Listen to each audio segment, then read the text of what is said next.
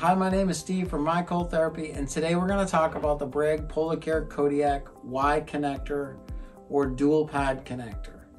First thing you always want to do with your Breg unit is check your connectors. This is the Kodiak, it's a male and a female, um, so make sure you have the right connector for your machine. This is used mostly for bilateral knee replacements where you can use two pads on the same machine. And let's see how it works. You connect it up to the machine, and then you get your pads. And connect your pads individually to the uh, Y connector.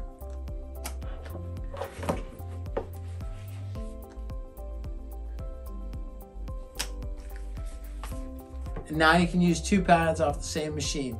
If you have any further questions, please give us a call at 704 953 2545 or visit us at mycoldtherapy.com. Thank you.